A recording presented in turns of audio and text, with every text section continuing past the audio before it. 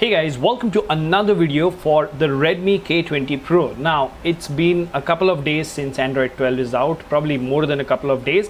And with the source code out, we do see a lot of people you know releasing unofficial and official builds of android 12 now big disclaimer over here these are initial android 12 builds and they will be buggy. These are you know the times wherein you get to try different stuff. You can flash it maybe for a couple of hours but you cannot use it for a daily driver. We have one such example over here today. We are talking about arrow os unofficial first android 12 release. Now we're going to flash it. I'll show you around the rom. I have experienced it during the day but don't expect any benchmarks or gaming reviews or 24 hour review or even an initial impressions video because this is very very raw this is just for you to enjoy Arrow OS or Android 12 on K20 Pro, how it looks and how it feels and this is a very very early build. But before we get into the installation process, if you haven't already, please subscribe and hit that notification bell icon so that you get notified every time I upload a video. In the description of each video, you will find a link to our Telegram community where you have more than a thousand like-minded people chatting with each other, so join us there. Last but not the least, if you think the hard work is worth the effort, please click on the join button and support the channel. Now without further ado, hello awesome people, welcome to PhoneOps. My name is Kailash. Let's get going.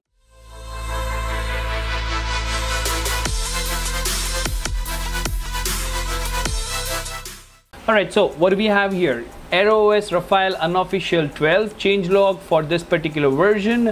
Need MIUI 11 firmware that is Android 11 not MIUI 11 you need MIUI Android 11 firmware English variant for experience only. There are known bugs like finger on display doesn't work double tap to wake doesn't work wake WFD doesn't work. When multiple SIM cards are used only SIM 1 settings are displayed. SE Linux status is permissive.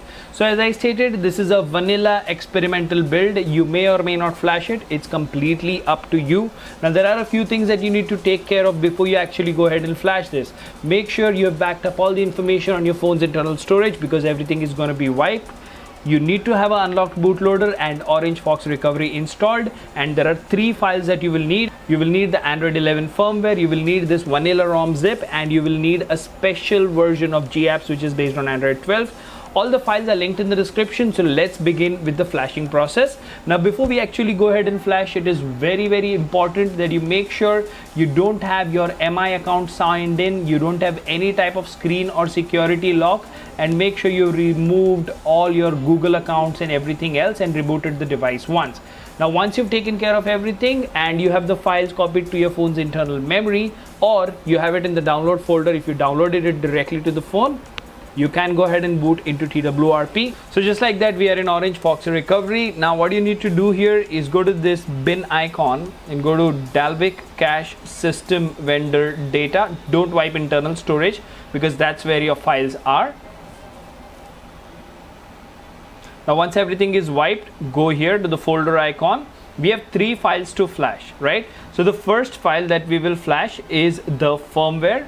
Then select add to queue scroll down and select the ROM, add to queue again, and then select Flame GApps.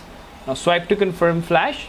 Now as I said, these are three files. They will take some time to flash, so please be patient while that happens. Alright, now as you can see, everything has been flashed. So you just need to go through this log over here just to ensure that there are no errors or no file failed to flash, right? Now you can go ahead and wipe cache and the last step is go to this icon over here again. Go to format data type in yes select the tick mark. Remember I said everything on your phone's internal storage will be wiped. That is what is essentially happening over here. So we'll be getting a very very clean flash. All right. Now click on reboot system now. Now remember these ROMs are very very light and it doesn't really take a very long time to boot for the first time as well I'm expecting this will boot in less than 30 seconds. We should have the Arrow OS logo coming up anytime soon. There you have it. You have the Arrow OS boot logo. So let's wait for the phone to boot up. There you have it. Setup menu for Android 12. So let's skip things over here. Now you might have some issues with these GApps. These are very, very initial Android 12 GApps by the Flames GApps team. So although it worked for me, but it was giving me a persistent notification that the setup is completed and it was not going away.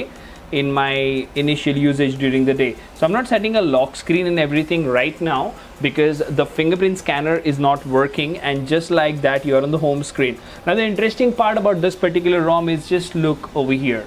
You do have the camera application, you do have contacts, you do have the Play Store, but you don't have any bloatware at all. Now I have always said that when you make a ROM very very light, it really really performs well. So let's go to settings over here. Let's go to about and you can already see the Android 12 theming over here the Android 12 look. So if you click here and you keep tapping on this this is your Android 12 Easter egg. There you have it. Now the moment you enable the Android 12 Easter egg you get an extra widget over here Android S Easter egg. This is basically as you can see there you have it all different colors. Now as I said this is an initial build so a lot of things are missing over here. It is asking you to finish setup at all.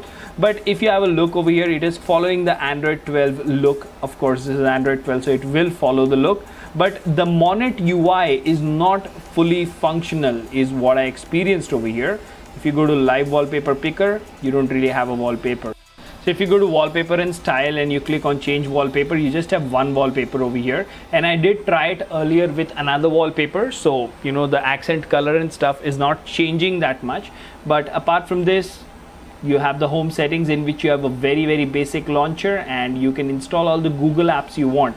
Now ArrowOS doesn't really have a ton of customization and for a first build i feel that you know they are doing a pretty decent job and very soon they should be able to fix all the remaining issues that are you know mentioned in there and the some issues which are not really mentioned you have the battery indicator like the battery life battery percentage is something you can go ahead and enable data wi-fi all these basic things are working just okay but you know as i said i highly suggest that this is not a daily driver this is a very very raw build of arrow os i just wanted to share with you guys what's coming next from team arrow for the Raphael or the Redmi K20 Pro. So this was the install and initial impressions of Arrow OS 12. Let me know in the comment section what do you think about this video.